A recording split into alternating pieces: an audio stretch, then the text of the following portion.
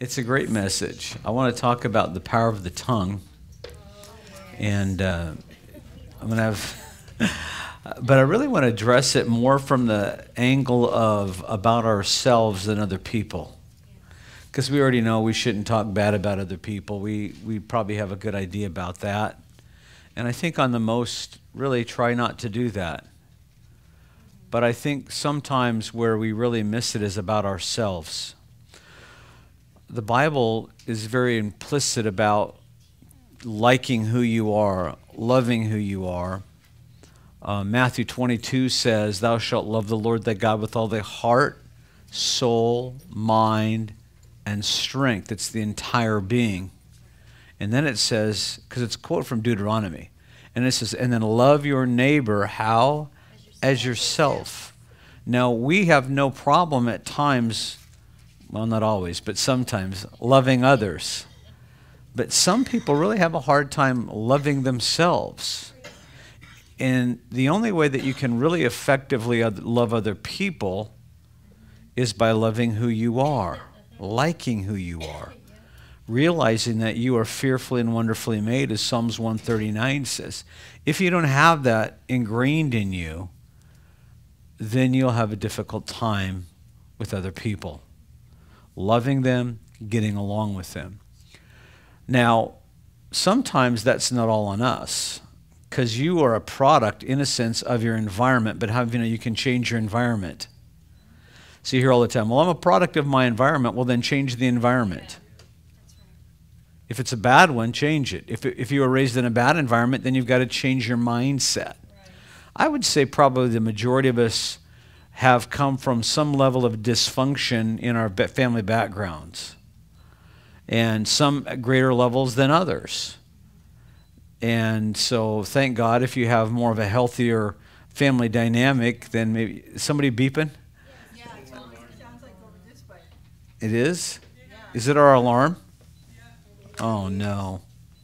Okay, let me let me click that, Tim. Hang on.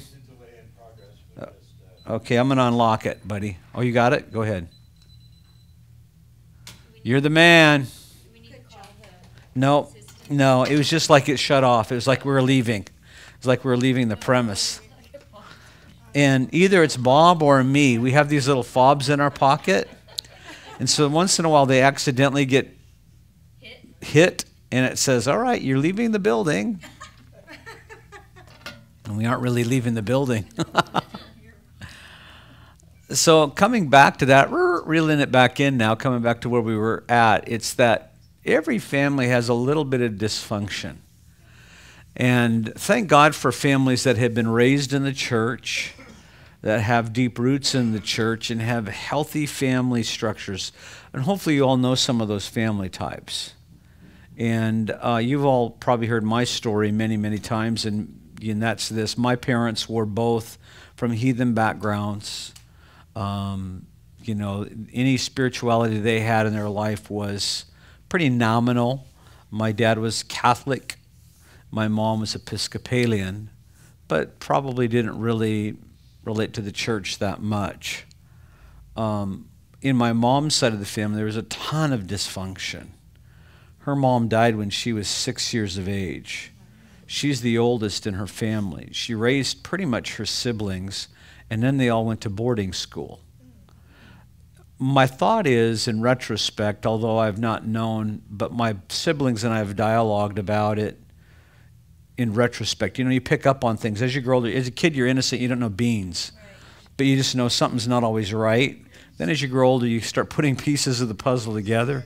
And we probably think my mom was probably abused.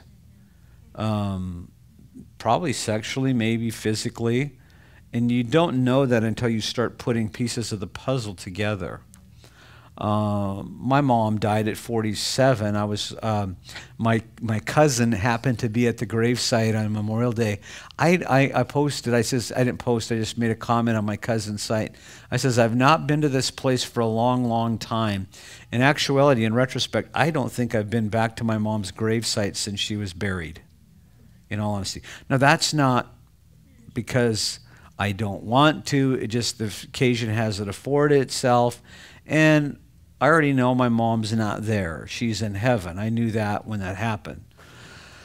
Um, the siblings in our dynamic, in our family dynamic, my older sister and I are a lot like our mother in terms of personality and temperament. Very driven, type A. That's kind of our personality type. You wouldn't know that because you never knew my mom, never met my mom, or etc. Um, Helen knew my mom, and uh, my mom really pulled some class things when we were first married that just as funny as all get out and as a new mother or new mother as a new wife coming to that dynamic let me give you a couple for instances when we were first married my parents came out to visit and i had got i contracted poison oak and i had it head to toe i mean i had open weeping running poison oak that was horrible and so I slept in another room. I think I slept on the couch, and Helen slept in our bedroom. She's shaking her head. What happened?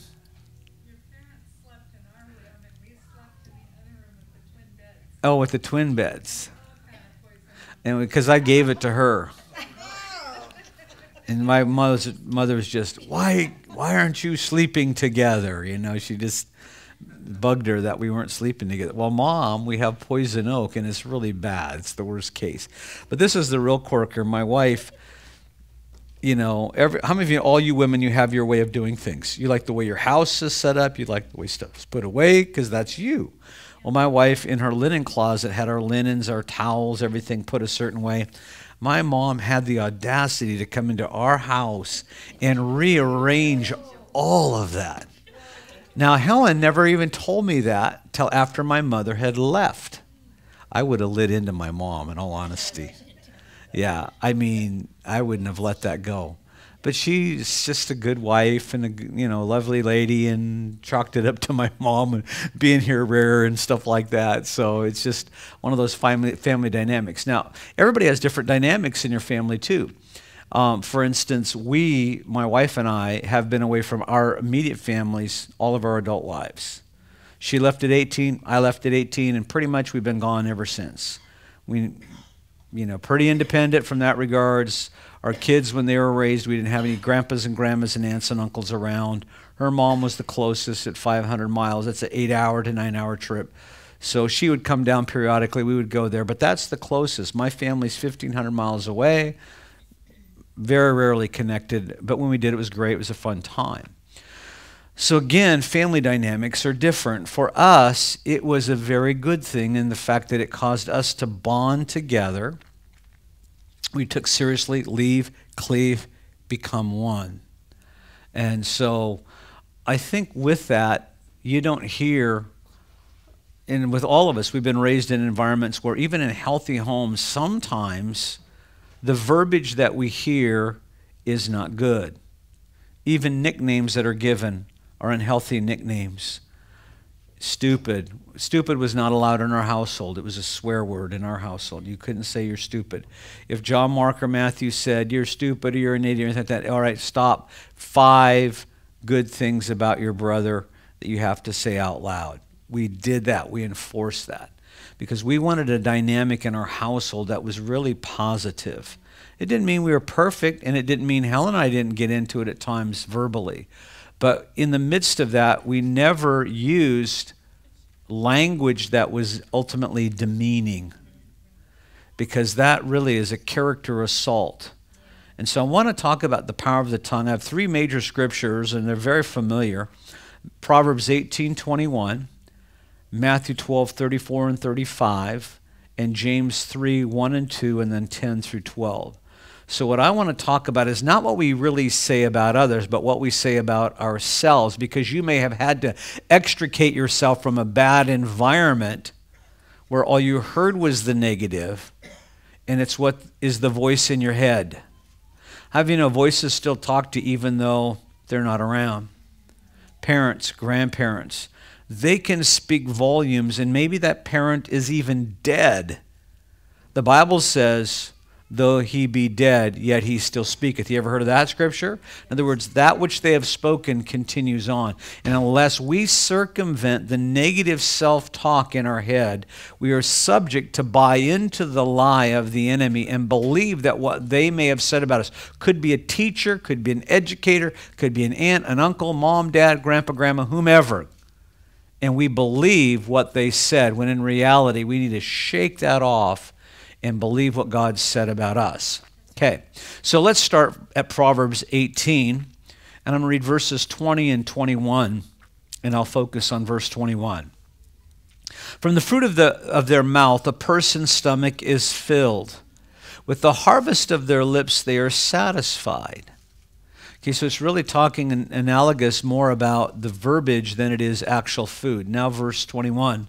The tongue has the power of life and death. What an astounding statement that Solomon makes. The tongue has the power of life and death, and those who love it will eat its fruit. Okay? So, what's this talking about? If you'll look at the notes that I have on the screen behind me, I think I do. It makes this statement under point number one. It says, The power of life and death is in your mouth.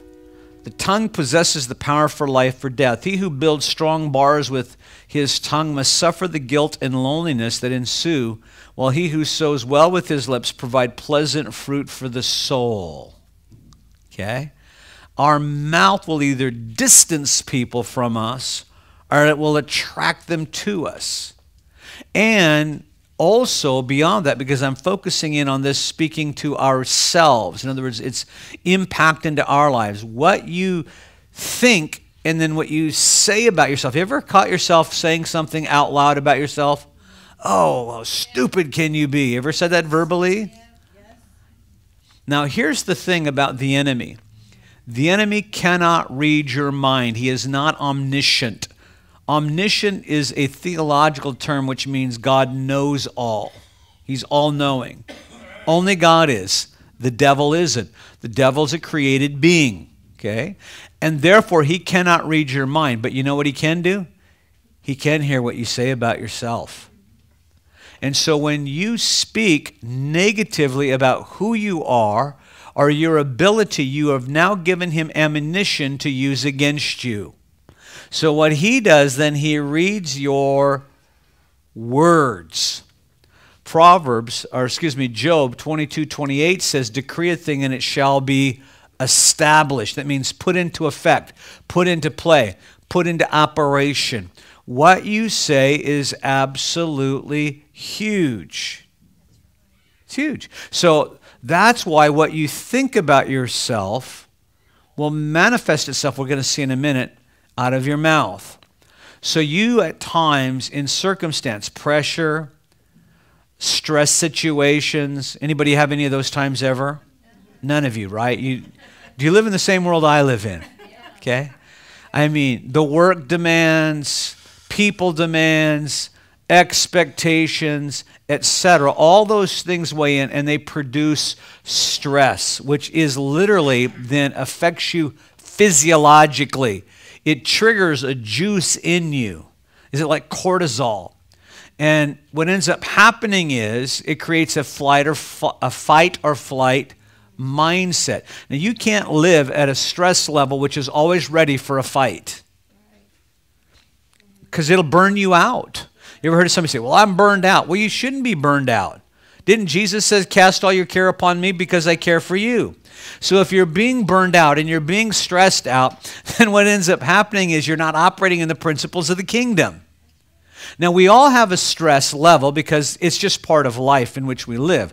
There are certain factors that happen. But if we're burning the candle at both ends and we're always stressed, something is not right because we're not operating in the principles of the kingdom. We've not created the proper boundaries and we've not learned how to say no to certain things and or people.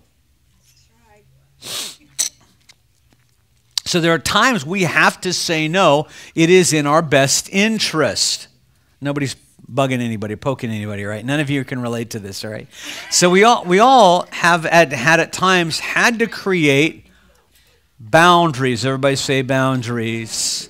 Healthy boundaries that are your in, in your best interest. You see, if you are stressed out, which ends up producing physical sickness and disease in people, then you're not of benefit to anybody.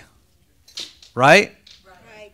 So what we need to do is we need to operate, opt, operate at an optimum level, and that always comes back to our thinking that then is manifest in what we say. So, how I view myself and what I say about myself in circumstances and situations. Philippians 4:13. Can anybody quote it for me? Absolutely. All things that are supposed to be doing done. Okay, put it in perspective. I mean, there are some things you shouldn't be doing. You don't have the grace for it or the strength for it. So I want to take Scripture in its totality because there are some things that are not in your wheelhouse. You're not supposed to be doing those things, it'll wear you out.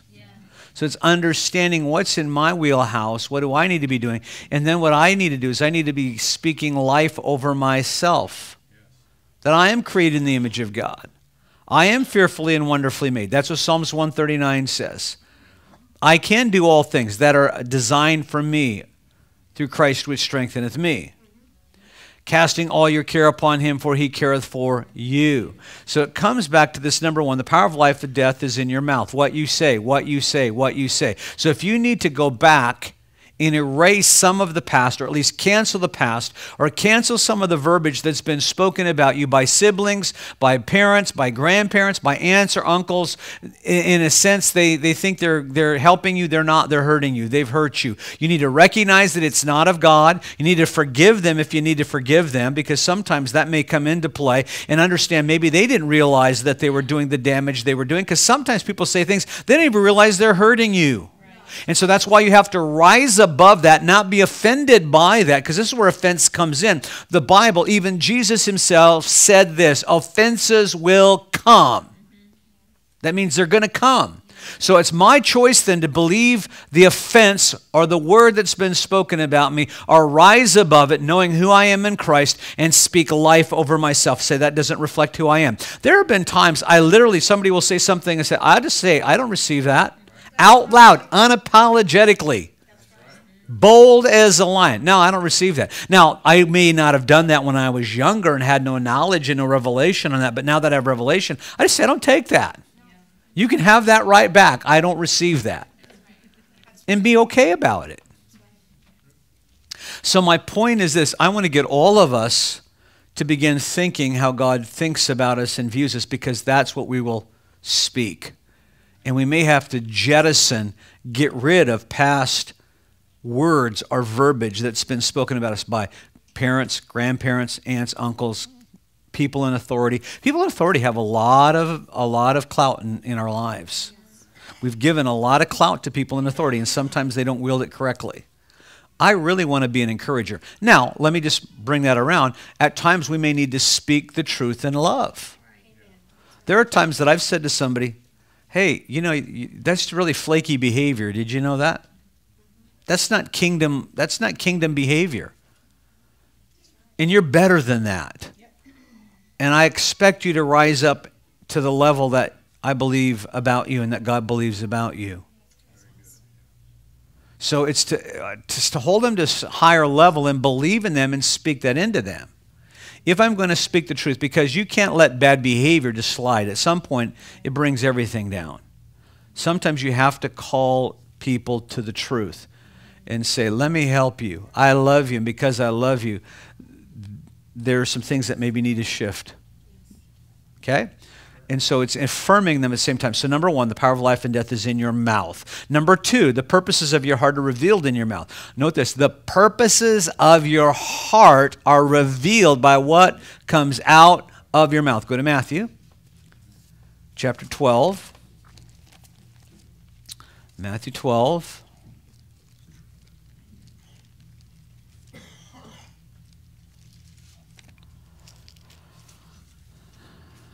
34 and 35. Now, this whole context is dealing with the accusation by the Pharisees and the Sadducees that what Jesus was doing was by Beelzebul or Beelzebub, which is the prince of demons. So it's in that context. just so you know the framework of what I'm talking about here.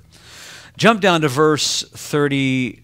I'm going to pick it up at 33. It says, Make a tree good, and its fruit will be good. This is the words are written and read in my Bible. Jesus is speaking this. He says, Make a tree good, and its fruit will be good, or make a tree bad, and its fruit will be bad.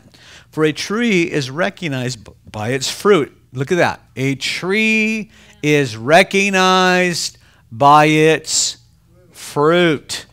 So if somebody says, I'm this, but the fruit of their life is this, something's not right. This fruit is not matching this purported tree. They're saying, I'm this tree. I'm a Christian. Bless God, I'm a believer. Okay, at some point, the lifestyle needs to begin to be reflecting that. How do you know there's a difference between a rank, brand new, born again Christian than there is somebody who is 5, 10, 15, 20 years in the Lord Jesus Christ. Or there should be. Everybody say there should be. Okay? Why do I say that? Because the Bible is very clear. It says, "Grow in the grace and the knowledge of our Lord and Savior Jesus Christ." 2 Peter 3:18. Isn't true? So if you're truly born again, you're going to mature and grow. And some of the stuff that used to be in your life isn't going to be there anymore. So the tree is recognized by the fruit it is producing. What do people, and I say this, what do people outside of the church arena say about your life? How do they view you after they've been with you for a period of time? Are you the same day in, day out, day in, day out? Okay, is there a consistency? Everybody say consistency. See, that's huge. We were at lunch today, the group of guys that I do construction work with. We're sitting there eating, and the waitress comes and she goes, You guys are, I shouldn't say you're gentlemen. And then one of the guys pops up, my boss, my media boss, and he goes, Oh, yeah, there is one. This guy right here, he's the man of the cloth. See, so you, you don't, other people will, I mean, just live steady, consistent all the time. And so people are watching. I'm just telling you, they're watching all the time. So know that a tree is recognized by its fruit. Now, watch here. Watch this next statement. You brood of vipers. That's Jesus now calling them a real nice name. Remember what I said? Speak the truth in love. All right. How can you who are evil say anything good? For the mouth, and here it is, this is the underliner, for the mouth speaks what the heart is full of. The mouth speaks what the heart is full of. The mouth speaks what the heart is full of. So, what's coming out of your mouth is really what's in your heart. Now, he goes on and gives another illustration. He says, A good man brings good things out of the good stored up in him. Some of your versions will have treasury. And an evil man brings evil things out of the evil stored up in him. Okay? Now look at my statement here. I'm quoting Matthew Henry's commentary. He says, The heart is the treasury. The words are the things brought out of that treasury, and from hence men's characters may be drawn and may be judged of. That's Old English for a sense of your treasure is going to come out, and your character is revealed by what comes out of your mouth. Your character is revealed by what you're saying and what you're doing. This is why I've said often Kenneth Hagin Sr. said, I could locate a person by being with them five minutes where they're at, where their faith level is at, because the fruit of their mouth was revealing what was in their heart.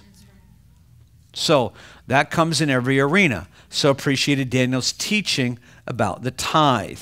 Now, we understand for us here at Word and Spirit, everything that we have is the Lord's. Psalms 24 1. The earth is the Lord's and everything therein. It all belongs to him.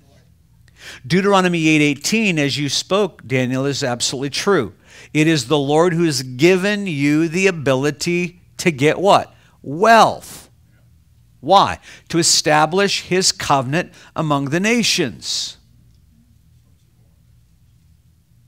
So either you believe that or you don't believe that. Now, wealth is relative in some countries because in some countries, $4 a day is the average wage. Nigeria, $2 a day is the average wage of the average Nigerian. Haiti, we will ask Roger when he comes in a couple of weeks. What's the average wage? Somebody was talking about on Sunday. It's one of the poor. It is the poorest country in the Western Hemisphere. I was invited by Roger and Margaret to go down there a few years ago. I went down there, I preached their pastors. There's a group of pastors that are in there that they're responsible for their churches, and then some others that joined us. Then I preached in their in a couple of their churches as well. But he's absolutely right. I mean, as you drive the streets of Haiti, you can see the poverty is everywhere around you. Now, here's my statement again. You want to? I'm going to address that. The poverty that they are experiencing is because some people say, well, it's the government. That's part of it. It's true. Okay, that's in any environment. But bigger than that, in my perspective now, bigger than that, their problem is they serve the wrong God. They serve the wrong God.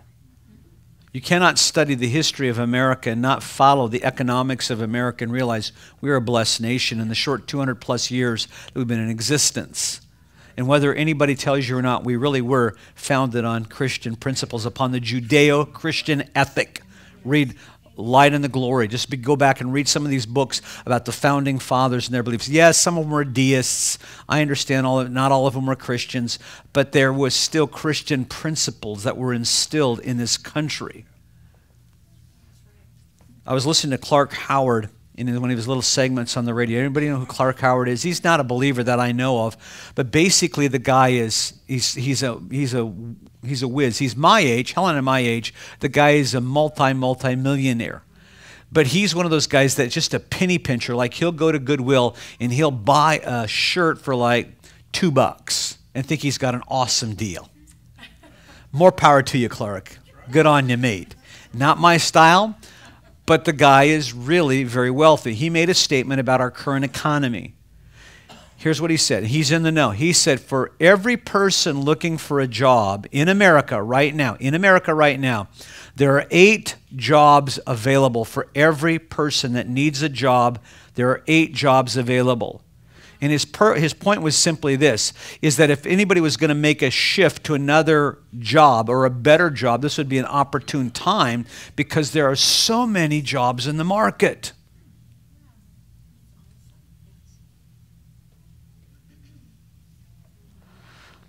The purposes of your heart are revealed in your mouth. You say, well, why do you keep going down that road? Because what do you believe about wealth? What do you believe about health? All those things are in your mouth. They're in your mouth. Now, I teach this God's my source. This church isn't, the job isn't, whatever ever else, God's my source. What does that mean? Here it is in a nutshell though I believe in a work ethic, I've worked all my life in all multi myriad different things. The point is this if you are, a, are willing to work, God will always see that resources are coming to you. And that it doesn't have to just come from your job. That God can get resources to you from whatever channel He wants to bring them in favors, in blessing, in benefit people that come up and give you money. Why? Because you've been faithful in giving tithes, offerings, and alms. And I just believe that. I've watched it, I've practiced it. And so, what do you believe about money? Because it's in your mouth. If you believe that you're always going to be poor and you'll never have anything, then guess what? That's exactly what you're going to get. Because you believe for that and you'll attract that. Same thing with sickness and disease. What is your belief system about sickness and disease? Mine's this it's of the devil.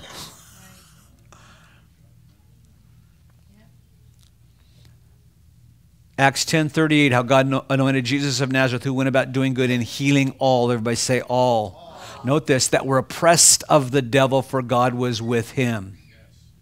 Sickness is an oppression of the devil. Now, sometimes we've brought sickness on ourselves. Didn't I just say a moment ago, too much stress releases certain certain secretes certain stuff that is released into your system that is unhealthy for you and you get sick that way. Some sickness is just simply organic. It happens. It's there, flus, whatever. and you have a, a resistance that's been weakened and you're susceptible to that. Now, I thank God for doctors. I thank God for nurses. I praise the Lord for that. But you know, at the end of the day, Jesus is the healer. He is the healer, He's the great physician. So, my belief about sickness is this it's of the devil, it's an oppression of the devil. And my belief is God's a good God and He wants me to be well. So, I'll contend for that. I'll believe for that. Do people get sick and die? Yeah. Do they? Yes. They do die. You know what? That's between them, God, and whoever. It's not my problem. All I know is I need to keep doing what Jesus said to do, laying hands on the sick, and they shall recover. I'm going to put my faith with their faith, and we're going to join together. And if they die, they have the ultimate healing, and that's they get to go see Jesus. But I know this sickness is an oppression of the devil, and God's a good God, and He's a healing God. So, again, what's coming out of our mouths? The purposes of your heart are revealed in your mouth and your heart is like a treasury. All right, number three. The perfection of one's life is spoken from your mouth. The perfection. How many of you know you can grow to be mature? Now, King James translates that word unfortunately because the Bible's the Bible in the King James says, "Be ye perfect as I am perfect." One, some of the other versions have "Be holy." The word is teleu in the Greek. It means to be mature, means to be grown up. Okay, so I want you to go with me to James chapter three.